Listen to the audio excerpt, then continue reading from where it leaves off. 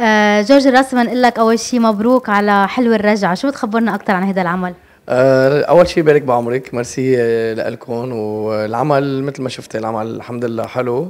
ونابع من القلب. وهذا تحضير آه، له أكثر من سنة يعني أنا محضر العمل. غنية حلو الرجعة. هي كلمات طوني أبي كرم وألحان وتوزيع نيكولا شبلي ومثل ما سمعتي بدنا نصور لها فيديو كليب بألمانيا. آه خبرنا شو اللي أغراك بهيدي الأغنية؟ لأنه عم تقول سنة عم بتحضر لجيت بهيدي الأغنية تحديدا. لا ما دخل هلأ أنا لأنه معروف عني بغيب شوي وبرجع. الحمد لله إنه هالمرة آه، مثل ما بقولوا أخذت قرار إنه ما بقى فمشان هيك آه، غنيه حلوة الرجعه رح تكون راجعة بكل معنى الكلمة. رح يكون في concept كله جديد عم يتغير بين آه، حتى المسرح تبعي رح يكون ال band تبعي غير. الستيل الروك اللي أنا عم غنيه رح تابع فيه. أنا أنا جربت بلعيونك حبيبي إذا بتتذكر عملنا الغنية فيها روك من قبل. وهلأ عم بعيد التجربة وإن شاء الله بكمان واحد خمسة في غنية ثانية رح تكون.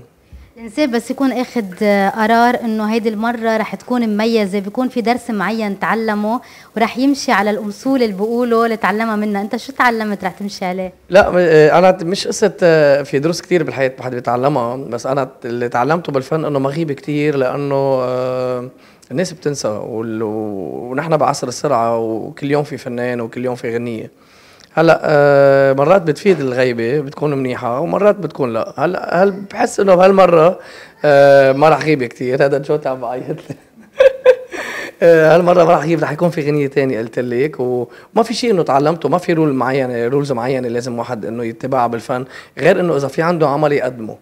وأنا عندي عمل ثاني كمان حاضر بنفس ال level اللي أنا عم اقدمه حلو الرجعة. في كثير أشخاص بس سمعوا قالوا إنه أنت رجعت لزوجتك وعم بتغني وعم بتقول حلو الرجعة. خبرنا مزبوط هالخبرية حلو اللطشة ليك لا ما خص جويل آه، بكن لها كل الاحترام وهي أمه لجو. لا ما رجعنا. يعني لا إنه ما خص يعني إحنا أصحاب ونحن كثير بعلاقة مميزه وكرمال جو بس هي الغنية اسمها هيك. ما ما قصدتها ولا عم بلعب على الحكي يعني كوني أكيدة.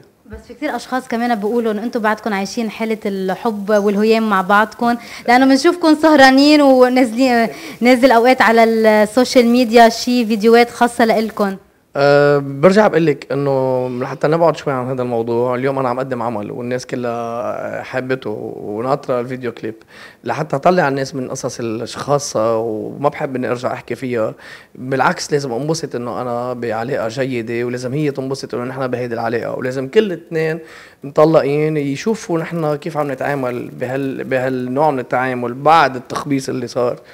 مع إنه جوتي مع هذا الولد البريء الطفل اللي هو ما ذنبه. فما بدي ما بدي احول اليوم نجاح الأغنية وهيدا لمحل تاني. بفضل إنه ما نحكي إلا عن القصص الحلوة وبس مش أكثر جورج شو رسالة بتحب توجهها للأشخاص اللي قالوا جورج الراسي راحت أيامه وهلأ أنت بما أنك رجعت بقوة على الساحة. أنا بقول لهم إنه ما ما بحب هذه الكلمة ولأنه ما حدا في فوق راسه خيمة في كل كلنا معرضين إنه بمحلات ما نتوفق بمحلات نتوفق نتعلم من أخطائنا. ومش معناتها رجعت على الساحة يعني أنا مثل ما بقولوا يعني زمان عصري لا بالعكس غنيه ناجحه بتحطك بمكان إنسان بيكون لازم يحافظ عليه. ونتعب. برجع بقول لك إنه اللي قالوا هيك الله يسامحهم لأنه بالآخر هو دولاب يعني بيبرم علي وعليهم. واليوم خاصة بعصر نحن أغنية ما بعصر الفن. يعني للأسف أنه أنا عندي تاريخ تاريخ من الفن. بدي أعتبر حالي إنه لي 20 سنة بغني. هالأغاني كلها هيدي التاريخ ما خلتني إني إني روح. بالفعل إني أنا غبت عن الساحه الفنية ولكن بتعرفي عمل واحد ناجح عم يرجع يذكر الناس فيي. هذا شيء بيطمني وبيحسسني طبعا بثقتي بحالي زيادة وبنبسط.